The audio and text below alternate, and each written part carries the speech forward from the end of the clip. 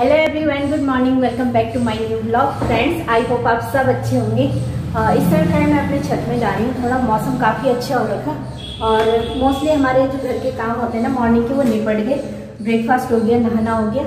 और अब मुझे लंच बनाना है, कपड़े लगा के मशीन में। तो इस समय मैं फ्रंट टेरिस में अपने प्लांट्स देखने के लिए आई हूँ हैंगिंग प्लांट्स क्योंकि आजकल रेनी सीज़न है ना तो मैं पानी नहीं डालती। तो मैं देखने आई हूँ कि वो सूख तो नहीं रहे। प्लांट्स तो अच्छे हो रहे ग्रीन ये देखो। फ्लावर भी खिल गए इसमें तो। मैंने देखा नहीं काफ़ी टाइम से ना।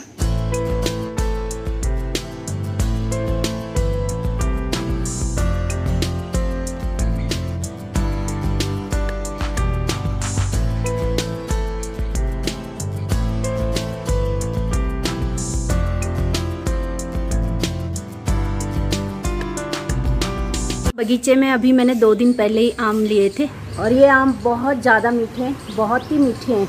यहाँ पर ना इतनी अच्छी चिड़ियों की आवाज़ आ रही ना कि यहाँ से नीचे जाने का मन नहीं कर रहा और पेड़ों की छाया भी है ना तो काफ़ी अच्छा लग रहा है यहाँ पे। ठंडी ठंडी हवा आ रही है, लेकिन अभी नीचे तो जाना पड़ेगा। मैंने कपड़े लगा रखे मशीन में और लंच भी रेडी करना है। बच्चे इस समय पढ़ रहे हैं, आज हॉलीडे का दिन है तो मैं सोच रही हूँ किचन भी साफ़ कर लूँ, जितना हो सकेगा मेरे से। और यहाँ पे मैं ये भी देखने के लिए आई ना कि हमारा जो घर का रेंट वाला पोर्सन है ऊपर का तो वो गंदा तो नहीं हो रखा, क्योंकि वहाँ पे भी सफ़ाई करनी है डस्टिंग करनी है।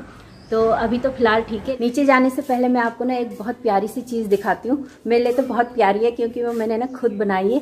वो है टेक्सचर। उस टेक्सचर को मैंने अपने स्टार्टिंग के ब्लॉग में दिखाया था, अपने होम टोर ब्लॉग में।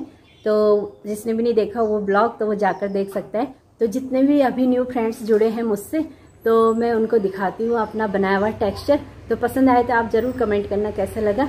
और तो चलते हैं और उसके बाद करते हैं काम। ये हमारा रेंट पोर्सन तो मैं इसमें दिखाती हूँ आपको।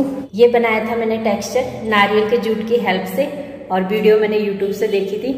और काफ़ी ईजी है बनाना इसको। और मुझे तो बहुत पसंद है ऐसे काम करना कलरिंग वगैरह पेंट वगैरह। मुझे बहुत शौक है और मुझे अच्छा लगता है। और अपने घर पे करना तो और ज़्यादा अच्छा लगता है, इस साइड से भी।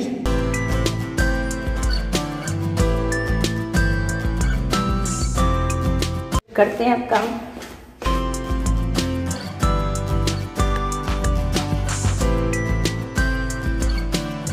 कपड़े तो धुल रहे हैं मशीन में। और कुछ यहाँ पर मैं धो रही हूँ। इनको जल्दी से धो देती हूँ उसके बाद लंच बनाता हूँ। आधे कपड़े धो दिए मैंने और आधे मशीन में लगा रखे और साथ साथ लंच भी बना देती ना बच्चों को भूख लग जाएगी। तो चलो करते हैं लंच की तैयारी और जल्दी जल्दी से बनाती हूँ। तो लंच में बना रही हूँ मैं अरहर मलका और मूंग दाल और बच्चों को बहुत पसंद आती है मुझे तो ना कड़ी बनानी थी।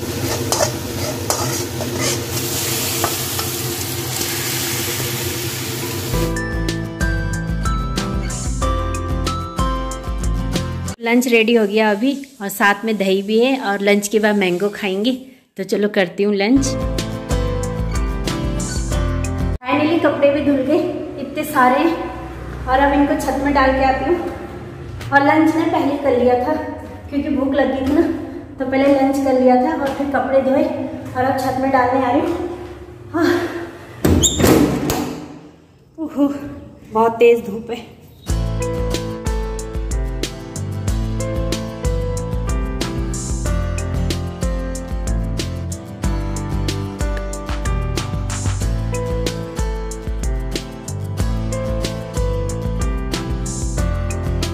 तो कपड़े तो सुखा दिए मैंने, बच्चों के शूज़ भी सुखा दिए। बहुत तेज़ धूप हो रही है इस समय। तो मौसम का ना ऐसे ही है, कभी एकदम तेज़ धूप हो जाती है, कभी बारिश। पर आज ना धूप चाहिए थी, क्योंकि कपड़े थे ना बहुत ज़्यादा। तो चलो धूप भी आ गई, कपड़े भी धुल गए और अब रेस्ट करती हूँ, बहुत ज़्यादा थकान हो जाती है। तो फ्रेंड्स इस समय सात बज गए शाम के और जस्ट अभी अभी उठी हूँ रेस्ट करके और बहुत ज़्यादा थकान भी हो गई थी, कपड़े बहुत ज़्यादा हो गए थे। तो फिर मैंने किचन भी साफ़ नहीं किया और मेरे फ़ैन वगैरह भी गंदे हो रहे। तो चलो नेक्स्ट डे कर लूँगी। तो बस और अभी नींबू पानी पी रही हूँ। वैसे मैंने पी लिया थोड़ा सा इसमें।